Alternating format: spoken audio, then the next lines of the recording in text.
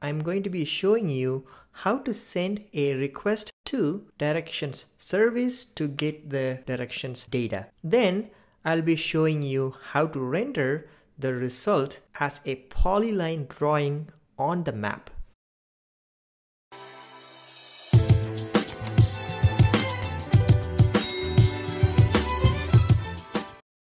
Directions API is a web service that calculates directions between locations. It also provides us with the path direction from the origin to the destination, including multi-part directions using waypoints based on various transportation modes such as driving, walking, and so on. Directions API can be accessed in two different ways using HTTP interface or using its directions service which is a client-side JavaScript library that Google offers. So what is the difference between Directions API and Directions Service? Well, the Directions Service is a client-side library that Google offers to only a few languages. And luckily, JavaScript is one of them. On the other hand, the HTTP interface can be accessed by any platform and this is predominantly used by the languages that are not listed in the Google's client library. The directions service is not only getting directions but also takes care of displaying as a polyline drawing of the route on the map.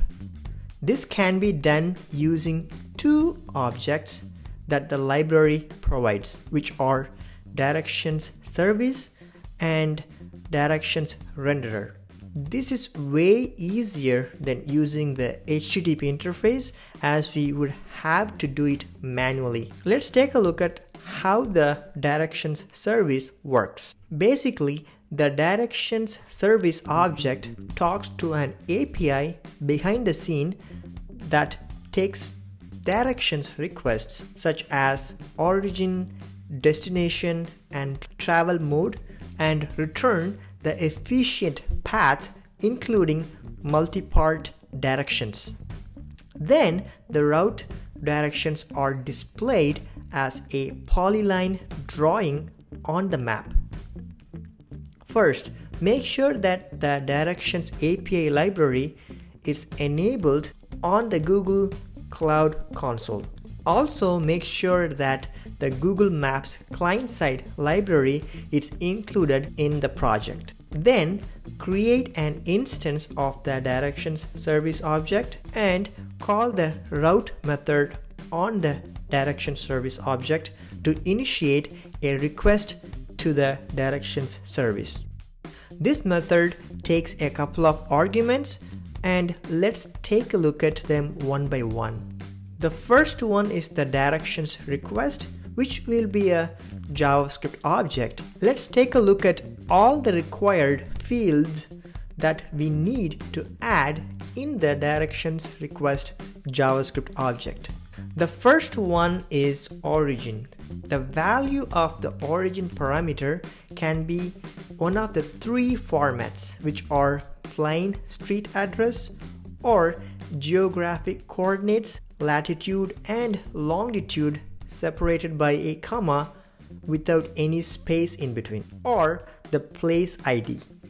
This will be the starting point for calculating the directions between locations. The second one is destination. The value of the destination parameter can be one of the three formats similar to origin. This will be the ending point for calculating directions between locations. The third required property is travel mode, M uppercase. This could be driving, bicycling, transit, or walking it must be all uppercase. Let's take a look at the second argument, which is a callback function. The directions service is asynchronous, so the callback function will be called upon completion of the service request. Then it will return a directions result and a directions status that we can access from the parameters in the callback function. As you can see, the response object has a lot of information about directions. For example, the leg property will have travel distance, duration, and steps information, which basically tells you when to maneuver, such as turn left, turn right, keep right, and so on. The next one, overview path, for example, will show you the location coordinates which can be used to draw the polyline between origin and destination locations. Using directions renderer, we can easily display the directions path on the map with just three steps. First, we need to create a directions renderer object. Then we need to add the directions renderer object to a map where it needs to be rendered. Finally, we need to tell the renderer what needs to be rendered, in this case, directions result, which is specified in the callback function parameter. That's it. Now let's have some fun by putting this into action. This will be a three-step process. The first one is to create a map object and display it on the view. So go to the directions map view component. Inside the mounted function at the top, create an instance of the map object. So constant space map equals new space google dot maps dot map m uppercase opening and closing parentheses and semicolon. This takes a couple of parameters and the first one is the DOM element that we want to display the map into. So let's add a ref attribute to the section element in the template. After the class attribute, hit space ref equals map in quotes. Then come back to the map constructor and pass the DOM element reference as a first argument. So inside the parenthesis, this dot dollar sign refs, which is a JavaScript object that will have all the ref attributes as properties in it. So to access the map property, I'm going to use opening and closing square brackets and map inside the quotes. Now we want to provide a little bit more information to the map object about how we want it to be displayed. So pass a JavaScript object, comma, opening and closing curly braces. In there, add three properties. The first one is center and the value of it will be a lat long object passing the coordinate values as arguments so that the map will be centered on the screen based on that. New space google dot maps dot opening and closing parentheses in there i'm going to center the map based on ottawa so i already found the coordinates for it and I'm passing them inside the parentheses separated by a comma. Next is the zoom property and the value of this will be an integer. The higher the number is, the closer the map will be and vice versa. So comma zoom colon 15. Finally, the map type and I'm going to use the road map type.